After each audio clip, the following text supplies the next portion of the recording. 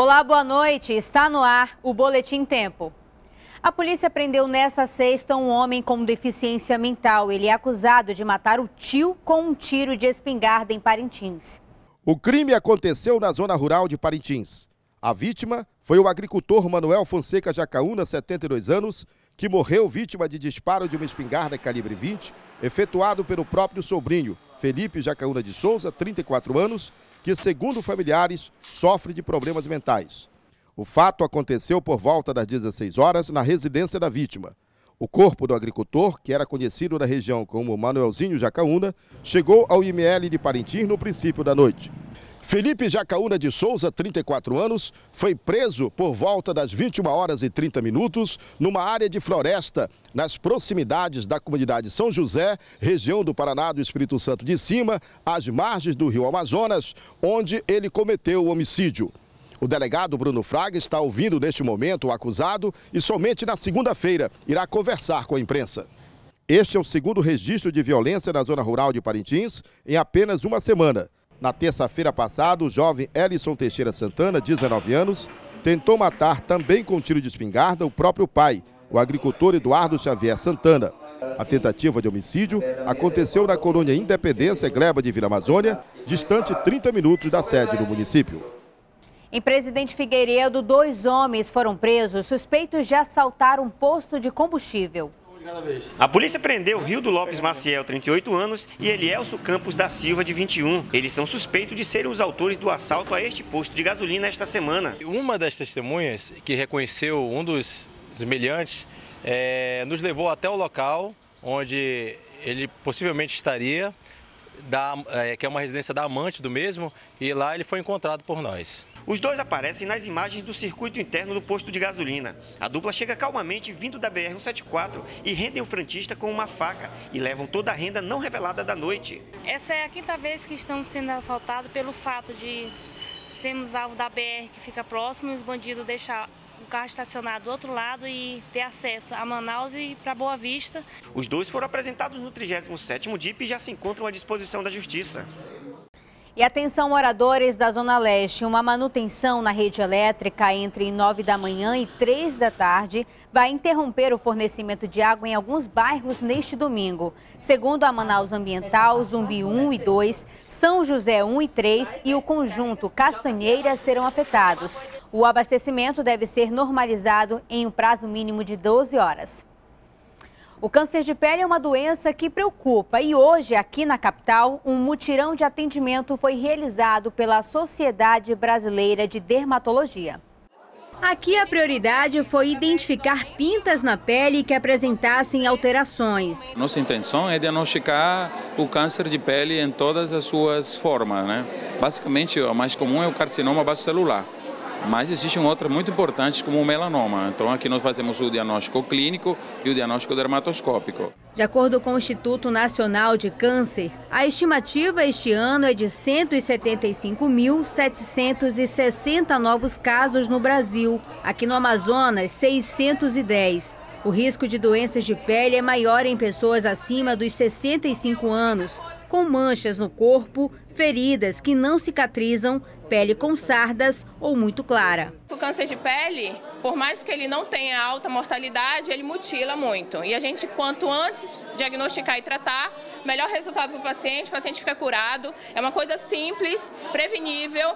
E hoje em dia a gente ainda vê pacientes mutilados, né, sem nariz, sem boca, por conta do câncer de pele, que poderia ser facilmente curado desde o início. O mutirão de atendimentos foi realizado em três unidades de saúde: Fundação Tropical, Alfredo da Mata e no Hospital Getúlio Vargas. Seu Adamor, de 74 anos, aproveitou e veio investigar as manchas que apareceram no corpo dele. A dúvida é o que pode ter ocasionado isso e como evitar o câncer. Sempre teve essas manchas na pele? Não, eu era limpo. Não apareceu aí, fica aí. Eu passo o remédio que eu vim aqui, mas não sumiu. Mandaram também no outro dermatologista. Eu, eles passaram a fórmulas, mas eu passei, mas não some. Você ficou preocupado? É. Já Daniele, de pele clara, com sardas e muito sensível ao sol, procurou ajuda por prevenção mesmo. Segundo ela, não é fácil suportar o calor aqui da região. Me exponho assim um pouquinho ao sol, já sinto essa ardência na pele mesmo, é sempre mesmo com protetor solar, mesmo com a camisa de manga. Uso também a sombrinha, né? A ação foi em todo o Brasil. Os casos suspeitos foram analisados e os confirmados devem ser acompanhados por especialistas. E as promoções da Black Friday continuam neste fim de semana nos shoppings da capital. Os detalhes com a repórter Priscila Mello.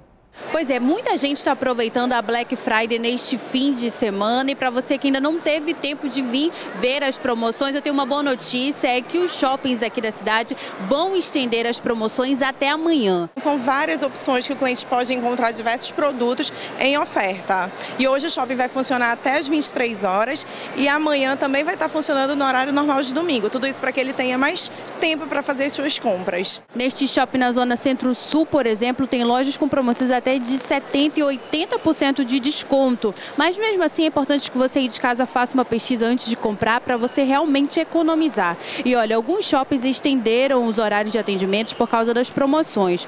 Hoje este aqui na Zona Centro-Sul vai ficar aberto até às 11 horas da noite. Então para você aí de casa que ainda não veio conferir as promoções, ainda dá tempo. Volto com você no estúdio. A tatuagem para muitos é mais do que apenas o desenho, é um estilo de vida. Em dois dias de feira, Manaus reuniu profissionais tatuadores e apaixonados pela arte. Um desenho permanente feito na pele humana que tecnicamente é uma aplicação através da introdução de pigmentos por agulhas. A tatuagem para muitos é um estilo de vida em Manaus, uma feira colocou em destaque 20 tatuadores. Foi um encontro de profissionais do ramo e admiradores. Um dos nossos maiores diferenciais é essa organização e os atrativos de fora que a gente traz, não desvalorizando da terra, porque aqui também rola artistas renomados a tendência hoje são tatuagens minimalistas, aquelas pequenas com nomes e desenhos emblemáticos. Uma custa no mínimo 50 reais. No evento, nós encontramos o dentista Robson Gillen. Ele tem 34 tatuagens. A última foi feita na própria feira, um touro. Para ele, todos os tabus em relação ao preconceito já foram quebrados. É uma coisa que já deixou de ser tabu na sociedade. Há uns 15 anos atrás, uma pessoa com muita tatuagem era mal vista. Hoje em dia isso já mudou.